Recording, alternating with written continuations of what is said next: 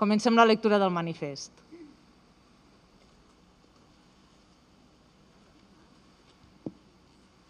Bon dia.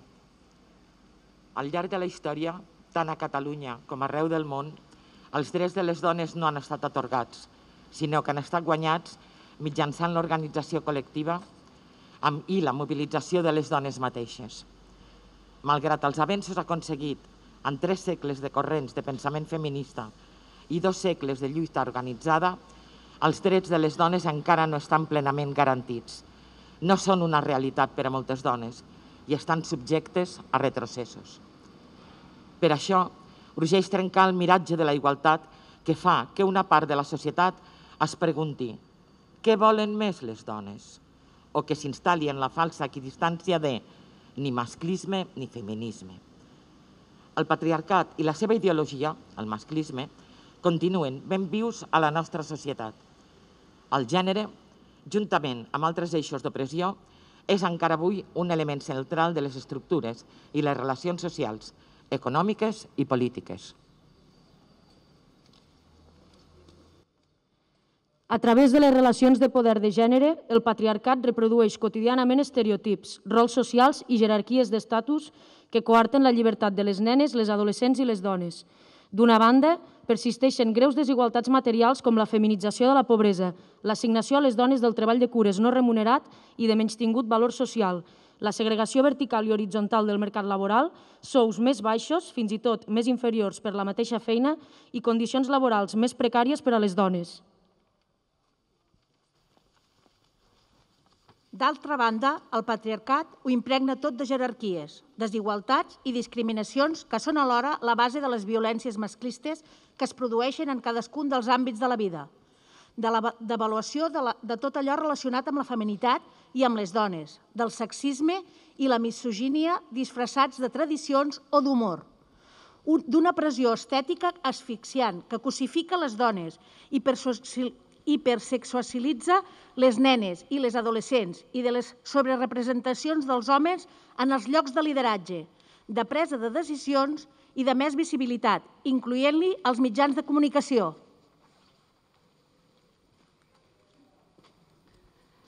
També es manifesta en la ceguesa de gènere, que no té en compte les experiències, les realitats, les necessitats i les expectatives de la meitat de la població, ja sigui en nombroses lleis i polítiques públiques, en els currículums educatius, en el disseny dels productes tecnològics i en les normes i pràctiques formals i informals de funcionament de les institucions, de les organitzacions polítiques, econòmiques i socials o de les entitats. Totes aquestes injustícies de gènere interaccionen amb el classisme, el racisme, la cis-heteronormativitat, el capacitisme, l'edatisme o la situació administrativa i produeixen formes específiques i agreujades de subordinació de les dones.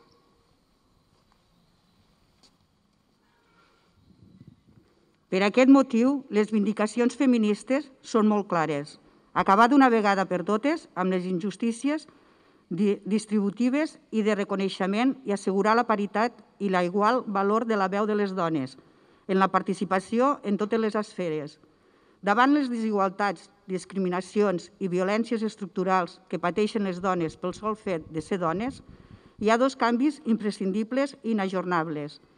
En primer lloc, el paper actiu dels homes per identificar i rebutjar els estereotips, les actituds i els comportaments masclistes propis i dels, i dels seus entorns laborals, familiars o d'amistats, que normalitzen i perpetuen la discriminació i el menysteniment, la cosificació i les violències envers les dones, i que al mateix temps els imposen a ells mateixos una determinada manera de ser i de fer com a homes.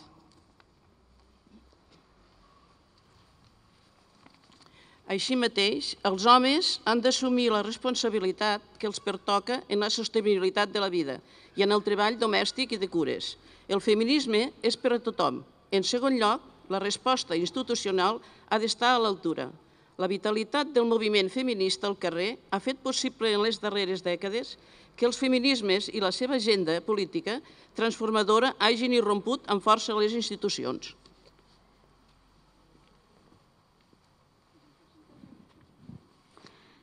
De les vocalies de dones en el moviment veïnal a les regidories de polítiques de dones, d'igualtat i més recentment de feminismes i a les àrees i programes d'igualtat de les diputacions i els consells comarcals, de l'Institut Català de les Dones a una conselleria pròpia del Govern de la Generalitat de Catalunya, el Departament d'Igualtat i Feminismes.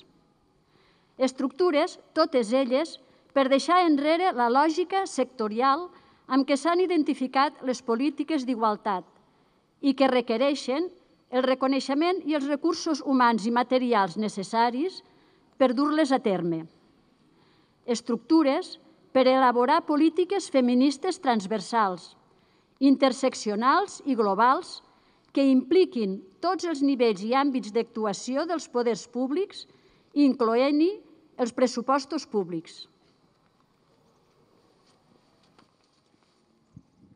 Polítiques públiques per impulsar una veritable transformació feminista que, posant la vida al centre, s'adreci a les necessitats pràctiques més immediates, de cures o d'usos del temps, entre altres, i que simultàniament impulsi canvis estructurals per, per enderrocar el patriarcat, com per exemple la redistribució del, del treball remunerat i no remunerat o la plena garantia del dret al propi cos polítiques públiques que siguin un dic de contenció davant la presència creixent del feixisme i d'altres moviments antidrets i antigènere, tant a Catalunya com a escala global.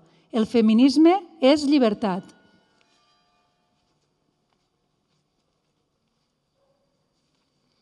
La transformació feminista ha de suposar també una nova forma de fer política, més democràtica i participativa, en què les polítiques públiques siguin el resultat d'una interlocució real amb entitats i col·lectius, especialment aquells que defensen la justícia social en totes les seves expressions, amb l'objectiu de dissenyar conjuntament un nou contracte social que permeti viure vides lliures i dignes a tothom.